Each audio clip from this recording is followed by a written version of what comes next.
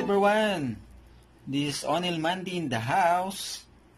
Just to inform you that my membership is now open.